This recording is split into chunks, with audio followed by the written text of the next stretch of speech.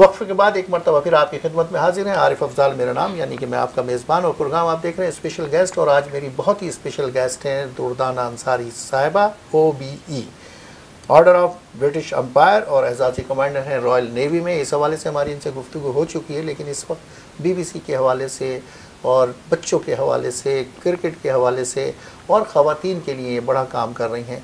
उसके हवाले से मज़ीद अभी गुफ्तु बाकी है जो हम इस सेशन में आपके सामने इन लेकर आए हैं। तो बात हो रही थी हमारी बच्चों के हवाले से भी और आपने बताया आपके चार बच्चे हैं। दो का आपने तस्करा कर दिया। मजीद दो का और बता दीजिए ताकि इस गुफ्तु को कंप्लीट करें तो फिर आगे बढ़ते हैं। तीसरी बेटी का नाम जहरा है। माशाल्लाह। पहली का अमीना है फिर नज समद हैं फिर जहरा हैं। जहरा जो है उन्होंने मास्टर्स किया है एचआर में। और वो अब आजकल दुबई में रह रही हैं। अच्छा, अच्छा। और वहाँ की ऑस्ट्रेलियन यूनिवर्सिटी के साथ वो एचआर डिपार्टमेंट को संभाल रही हैं और माशाल्लाह लिखती बहुत अच्छा हैं बहुत अच्छा बोलती भी हैं उर्दू बहुत साफ़ बोलती हैं और दुबई में आजकल। क़याम पजीर हैं। अच्छा। तो और जो चौथे बेटे हैं वो उन्होंने पोस्टमत यूनिवर्सिटी में उनका ब्रिटिश वो कर रहे हैं इंटरनेशनल बिज़नेस। दूसरा साल वो डेनमार्क में गए। उसके बाद जो तीसरा साल है बहुत ही इंटरेस्टिंग है कि 600 बच्चों में से वो चूज़ किए गए हैं चुने गए हैं और वो है उनका वॉल्ट डिज्नी जो कि बहुत ही उनका ख्वाब जो था वो इम्तिहान दे रहे थे और बैठे बैठे कहने लगे अम्मी सुबह मेरा इंटरव्यू है मैं इस इम्तिहान को आज नहीं दे सकता। I can always retake my exam but I will never get this opportunity so I set fine नज़र गो फॉर इट और अगले दिन वो आके वॉल्ट डिज्नी के लिए। तो ये इंटर्नशिप कर रहे हैं एक साल की। उसके बाद वो फिर अगले आखिरी साल जो है पोर्ट्समथ जाएँगे। चलिए इस वंडरफुल आपने तस्करा किया कि आपके बच्चे बोल रहे हैं लिख रहे हैं पढ़ रहे हैं। आपका अपना क्या हवाला है लिखने का? कुछ आपने कोई कभी कोई किताब लिखी अब तक? या पढ़ रही हैं किताबें जी किताबें पढ़ती भी रहती हूँ और आजकल किताब लिख रही हूँ। अच्छा। जी, आपकी अपनी ज़िंदगी है? है जी। जी ऑटोबायोग्राफी है और अंग्रेज़ी में लिख रही हूँ ताकि ये है कि आने वाली नस्लें जो हैं शायद हमसे कुछ सीख सकें शायद उनको कुछ पता चले कोई नुक्ता मिल सके कोई ऐसी बात मिल जाए और क्या कौन सी ऐसी गलती है जो हमने की और वो ना करें? मेरी बड़ी ख्वाहिश थी कि 16 साल की उम्र में या 18 या 20 साल की उम्र में हमें कोई बताने वाला होता है कि नहीं ये रास्ता ठीक नहीं है ये रास्ता ये रास्ता सही है। तो आज मैं साफ़ कह देती हूँ देखो मेरी बात ये है सुनना चाहो सुन लो। मेरी ख्वाहिश है तुम्हारी उम्र में कि कोई मेरे लिए ऐसे कहता। ऐसे कहता। तो जब मैं यूँ कहती हूँ तो वह बात सुन लेते माशाल्लाह। बात किताब की आई अगर हम माजी में ये देखें आजकल अब प्रिंट मीडिया का दौर ख़त्म हो रहा है कहते हैं। इलेक्ट्रॉनिक मीडिया आ गया है सोशल मीडिया आ गया है और दुनिया एक ग्लोबल विलेज बन गई है। माजी में आज से तीस साल पहले एक नज़र डाली जाए तो किताब छपा करती थी किसी की शायरी की किसी की अफसाने की और किताब की तादाद अशात हुआ करती थी एक हज़ार या ग्यारह सौ। अब दुनिया फैलती जा रही है। मैं सिर्फ़ कराची का तस्करा करूँगा कि कभी वहाँ की आबादी पचास लाख थी एक करोड़ हुई दो करोड़ अब सुना है तीन करोड़ हो गई है। लेकिन वो किताब पढ़ने का शौक़ नहीं रहा। एक हज़ार छपने वाली किताब अब तीन सौ पे आ गई है आधी भी नहीं रही है। इस अलमिए पे आप क्या कहेंगे? अफसोस कि वो ज़माने जिस एक ज़माना था कि लोग किताबें बगल में लेके चलते थे या हाथ में लेके चलते उसके बाद फिर वो कैसेट आ गया वीडियो कैसेट कि किताबों की जगह उन्होंने ले ली। आजकल हम और आप जो हैं इस मशीन से बात करते हैं।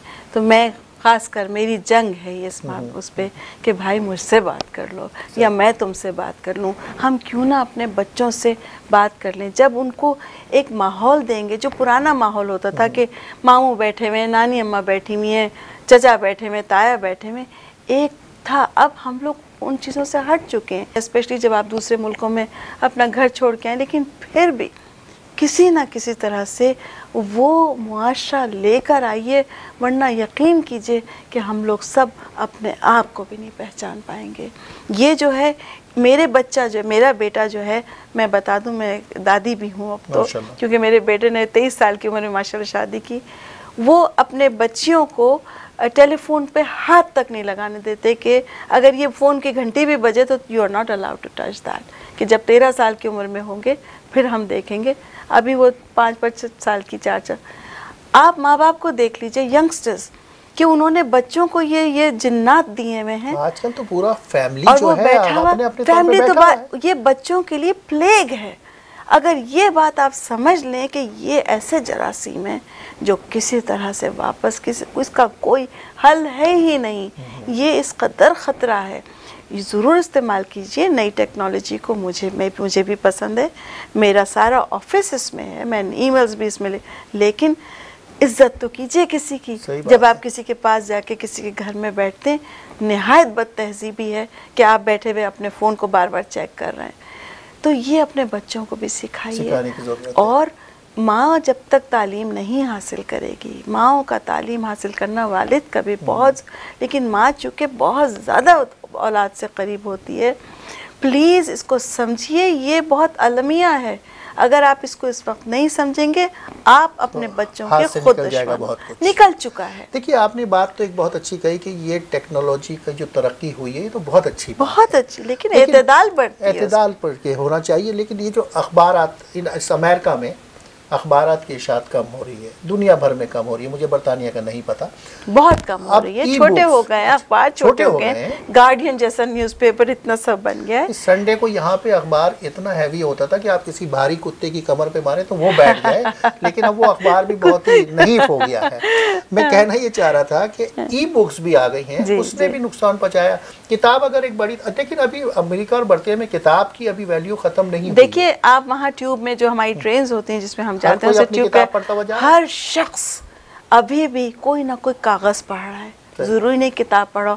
वहाँ फ्री पेपर्स आते हैं जो कि एक इवनिंग स्टैंडर्ड है और एक मेट्रो है। हर शख्स कुछ ना कुछ नहीं होगा तो उठा के पढ़ना ही लगेगा। लेकिन पाकिस्तान में एक अलमिया ये है कि यहाँ पर अमेरिका और बरतानिया में लोग बड़े आराम से सफ़र करते हैं बसेस में ट्रेन में ट्यूब में। लेकिन पाकिस्तान में तो आदमी मिनी बस की छत पे बैठा होगा तो अपने आप को बचाएगा ये किताब पढ़ेगा? तो ज़रूरी थोड़ी है कि आप उन बसों में पढ़ें। भाई जिस तरह के माहौल में रह रहे हैं देखिए पढ़ने के लिए आप कोई दुकान कोई कागज़ भी पढ़ा हुआ हो ना फ़र्ज़ कीजिए कि मुझे बोलने की हमारी ट्रेनिंग है बरसा बरस से। लेकिन हमारी ट्रेनिंग क्या उन्होंने कहा कोई बच्चे की भी किताब या कोई किताब फ़र्ज़ कीजिए कहीं बाहर से जो वो लिफाफे नहीं बनते वो अखबारों के बनते हैं। नहीं अगर आप पैसे दे सकते हैं अगर नहीं उसकी कीमत अदा कर सकते उस अखबार को लेके उस पर्चे को लेके ज़ोर ज़ोर से पढ़ना शुरू कीजिए। आपको कॉन्फिडेंस मिलेगा। आपको आपको अल्फाज जो हैं उनकी बनावट और उसकी साख जो है वो आपको ज़बान से कहने की क्योंकि लोगों में झिझक है। हमारे लोगों में झिझक है। अपने आप को किसी तरह से किसी भी किताब के करीब कर लीजिए किसी भी तालीम के करीब कर लीजिए। हम लोग बहुत अंधेरे की तरफ़ जा रहे हैं। और इस अंधेरे को हम खुद पहचान नहीं रहे। खुद पहचान नहीं रहे हैं और हमें पहचानने की ज़रूरत है। बहुत शदीद। अच्छा चलिए अब वक्त तेज़ी के साथ आगे बढ़ रहा है। क्रिकेट बरतानिया का सबसे पसंदीदा खेल बल्कि पाकिस्तान का। पाकिस्तान का हिंदुस्तान, हिंदुस्तान का, का, बांग्लादेश पाकिस्तान का। का। अब अब अफ़गानिस्तान वाले तो कहते हैं उनकी नेशनल टीम के प्लेयर कि हमने अपना पिशावर के कैंपों में रहते हुए वसीम अक्रम को देख देख के क्रिकेट सीखी उनको देख देख के आज वो एक अलग से नेशनल टीम है अपने मुल्क की। बहुत अच्छा आपका अच्छा क्रिकेट बहुत आपका क्रिकेट से ताल्लुक क्या है मुझे? देखिए मेरे घर में अब तो विमेन क्रिकेट भी बहुत आगे लेकिन आपने कभी नहीं खेली तो नहीं। बिल्कुल नहीं। नहीं। ना गिल्ली डंडा तक नहीं खेला किसी से मतलब तस्वीरें बनाती रहती अच्छा, थी तो और से आपका मसलन क्या देखिए मेरे घर में स्पोर्ट्स की बहुत ज़्यादा वो रही है हमेशा स्पोर्ट्स की आवभगत रही है। वालिद हमारे हॉकी के प्लेयर मेरा भाई गोल्ड मेडलिस्ट मेरे दूसरे भाई उनको हॉकी इतनी नहीं लेकिन हॉकी ज़रूर घर जो भी काम होता था किसी को हाँकना है किसी को कुछ करना है। हॉकी से हाँकना है। उसके बाद ये कि क्रिकेट जो है वो एक हमारे यहाँ का बुखार है समझ लीजिए कि क्रिकेट आपके दिल में है ही है चाहे समझ आए ना आए। उसके बाद मैंने बरतानिया में जब बीबीसी में काम किया तो मैंने पाँच साल स्पोर्ट्स न्यूज़ की।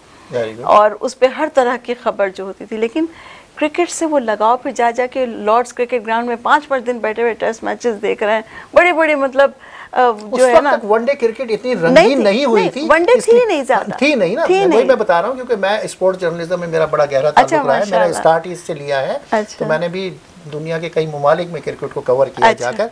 तो उस जमाने में टेस्ट क्रिकेट का मज़ा आता था। अब वो अब तो टी ट्वेंटी एक और उसका अच्छा बच्चा है। चलिए चलिए। मैं कह रहा हूँ टी- पसंद हाँ, है ट्वेंटी एक उसका एक और बच्चा आ गया इतनी फास्ट क्रिकेट आ गई है। क्रिकेट आ गई है कि लोग अब टेस्ट क्रिकेट में तरह दिलचस्पी लेकिन जो क्रिकेट के सही मानों में लवर्स हैं हाँ। वो टेस्ट क्रिकेट को ही पसंद करते हैं। एग्जैक्ट नहीं I love P S L S well पूरे दुबई शारजा कौन सा मैच ऐसा है जो बैठ के देखा नहीं? बच्चों को भी लेके जा रही हूँ। लेकिन फिर मैंने सोचा जब मेरा ये शौक है और मेरे अंदर इसकी एक और आग है तो मैंने नेवी की जो क्रिकेट टीम है उन वो लोग बहुत सराहते हैं और मैं जब जाती हूँ तो खुश होते हैं और मेरी बातों से या मैं, मैं उनको आइडिया दे दूँ।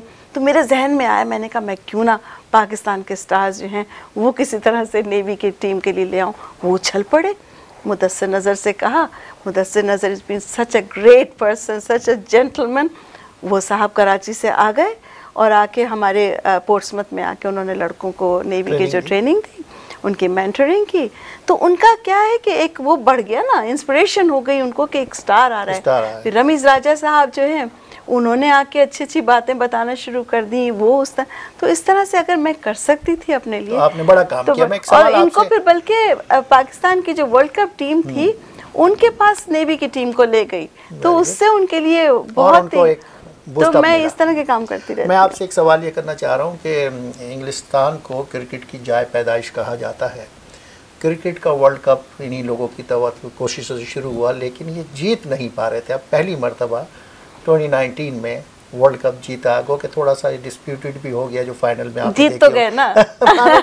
तारीख तो यही लिखी जाएगी कि वर्ल्ड कप। जीतने वाली टीम हाँ, सो एंड सो हाँ, है। तो कैसा लगा आपको कि इंग्लैंड की टीम ने फाइनल जीता? खुशी। वर्ल्ड कप जीता। बहुत खुशी। पहली। मरतबा। हालाँकि देखिए ऑस्ट्रेलिया बहुत अच्छा खेला। बहुत अच्छा खेला। लेकिन उनकी शायद किस्मत साथ नहीं दे रही थी।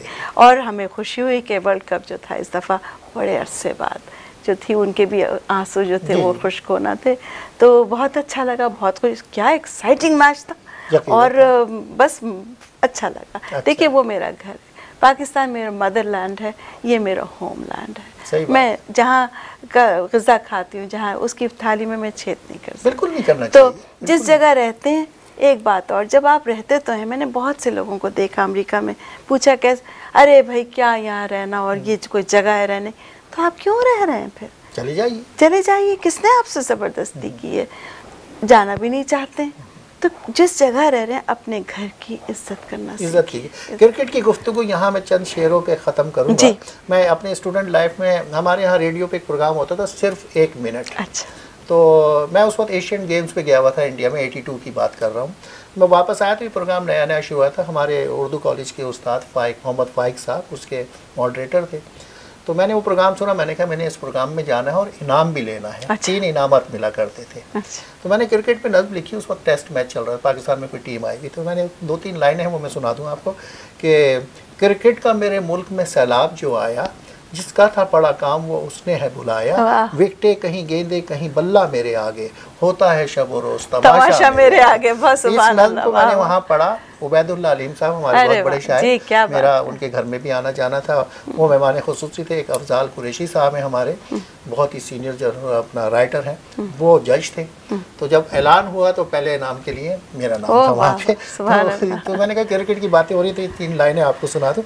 अच्छा आखिरी है कि आप एक खातून हैं और ख़वातीन के लिए भी आप बहुत से काम करती हैं।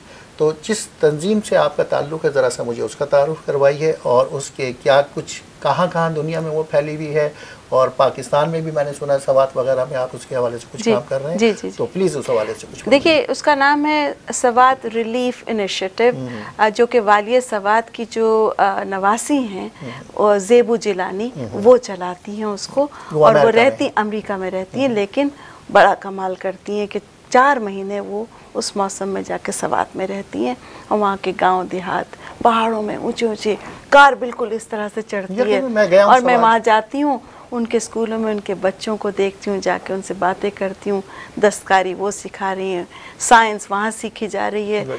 ये ना समझिए कि वहाँ कोई ऐसी कोई काम नहीं हो रहा है वहाँ ऐसी ऐसी ब्रिलियंट लड़कियाँ देख कर आई हूँ कितनी सारी मलालाएँ देख कर आई हूँ मैं वहाँ। तो बहुत बड़ा काम कर रही हैं और उनकी मैं ब्रांड एम्बेसडर हूँ। इसी के साथ साथ कश्मीर में मैं अ, सदर साहब ने मुझे बुलाया था और वहाँ मैं अ, गई हूँ। छः यूनिवर्सिटीज़ में एक मोटिवेशनल स्पीकर हूँ। तो जाके जो भी मुझसे कोई सीख सकता है जो भी मेरी राहों पर जिन पर मैं चल चुकी हूँ अगर आपको पसंद आती कदम पे कदम हुआ आ जाए तो कुछ हासिल तो वो। वो बच्चे हैं दो दो हज़ार लड़कियाँ मेरे लड़के सामने बैठे हुए आप उनसे गुफ्तु मुझे एनर्जी मिलती है। और उसके बाद तो मैं मीरपुर जो मस्ट यूनिवर्सिटी है उसकी भी एम्बेसडर हूँ। तो अभी मैं जोहानसबर्ग जा रही हूँ और वहाँ पे भी मोटिवेशनल स्पीकर की हैसियत से। देखिए आप जी हाँ लोगों से गुफ्तगू करूँगी तकरीर तो मुझे नहीं आती लेकिन हाँ मैं लोगों से हजरात वक्त ख़त्म हो रहा है लेकिन एक दिलचस्प बात मैं ज़रूर करूँगा और आपको बताऊँगा भी। पाकिस्तान के नामवर फनकार आसिम अजहर की ये खाला होती हैं और इनकी एक और बहन फरजाना हकी अमेरिका में रहती हैं वो बहुत खुद बहुत अच्छी सिंगर हैं। इनके भाई शहजाद अंसारी वो भी बहुत अच्छे सिंगर हैं।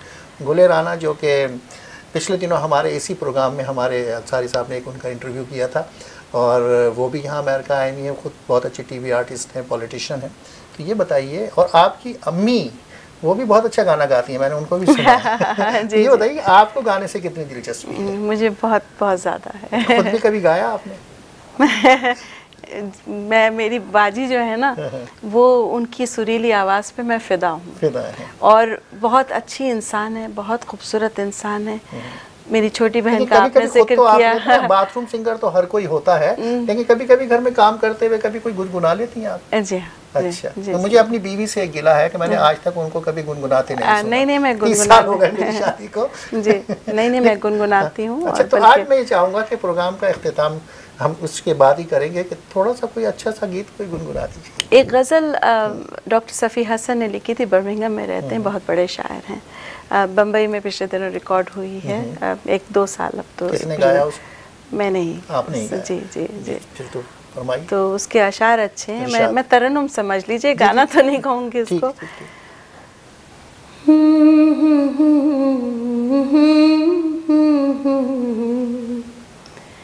दिल पे मेरे गुजर गए। नींद कहीं चली गई। ख्वाब कहीं बिखर गए। रात अजीब हादसे वाह। दिल पे मेरे गुजर गए। कर आज ये सोचता हूँ मैं। अपने ही घर में बैठ कर आज ये सोचता हूँ मैं। कितने बरस गुजर गए मुझको भी अपने घर गए। रात अजीब हाथ से गुजर गए। नींद कहीं चली गई। ख्वाब कहीं बिखर गए। अच्छा। सुभान अल्लाह माशाल्लाह वाह वाह वाह वाह बहुत खूबसूरत। मसलन मैं तो मैंने सोच रहा था कि आपका वैसे सारा ही खानदान गाने वालों तो ये खूबी आप में भी मौजूद है बदलते खुदम मौजूद नहीं असल में हमारे घर का एक गुलदस्ता है गुलदस्ता। मेरे सारे बहन भाई। ये हमारे वालदेन का ही देन है। अल्लाह ताला की वही इनायत है। मेरे तमाम बहन भाई जो हैं एक गुलदस्ता है समझ लीजिए। उसमें से एक से एक खूबसूरत फूल है फरजाना हकी हो गई जो अमेरिका में रहती हैं। गुलराना है जो इस पर चार चाँद लगा रही हैं पूरे टेलीविज़न पर छाई हुई हैं। शहजाद भाई हैं जिनका आपसे ज़िक्र किया एक फर्रुख भाई हैं। जो इस्लामाबाद में रहते हैं और मैं खाकसार आपके सामने हूँ तो थैंक तो यू सो बहुत बहुत शुक्रिया दुर्दार अंसारी साहिबा. ओ बी ई यानी ऑर्डर ऑफ़ ब्रिटिश एम्पायर ये आपका एजाज़ जो कि मल्क बरतानिया ने आपको दिया। मुझे बड़ी खुशी हुई आज आपसे मिलकर। आपका बहुत ज़्यादा शुक्रिया। और मुझे अफसोस होता अगर आपसे ये मुलाकात नहीं होती और मेरे नाजरीन जो है वो यकीन आपकी इस गुफ्तु से बहुत महसूस हुए होंगे। दिल की गहराइयों से आपका बहुत बहुत शुक्रिया ख़वातीन हजरात ये था आज का स्पेशल गेस्ट और यकीनन आपको पसंद आया होगा और ये जो खूबसूरत गज़ल जैसा कि मैंने कहा कि आसिम अज़हर की ये खाला है आसिम अज़हर नौजवान दिलों की धड़कते धड़कन है और बहुत खूबसूरती से इन्होंने उस गज़ल को निभाया। तो इसके साथ ही इजाज़त दीजिए अगले प्रोग्राम तक के लिए इन किसी और अच्छे से खूबसूरत से इन्हीं की तरह के प्यारे मेहमान के साथ आपकी खिदमत में फिर हाजिर होंगे। अल्लाह ने के बाद।